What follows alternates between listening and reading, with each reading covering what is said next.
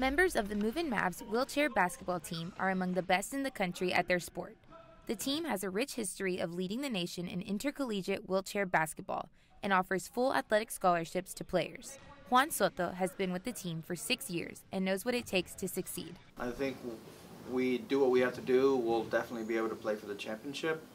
Um, it's just going to take execution and, and just commitment throughout the season. The team trains hard and practices daily in order to prepare for the season. Coach Doug Garner describes his team as much more than just hardworking.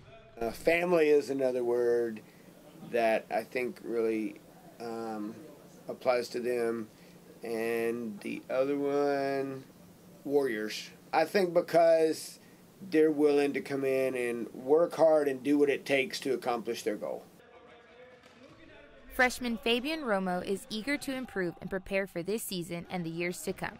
Focus on more team play and building up the team for next year because there's going to be some seniors leaving, and so we have to set a good foundation for when they leave. And ultimately, the goal at the end of the season is to win the national championship.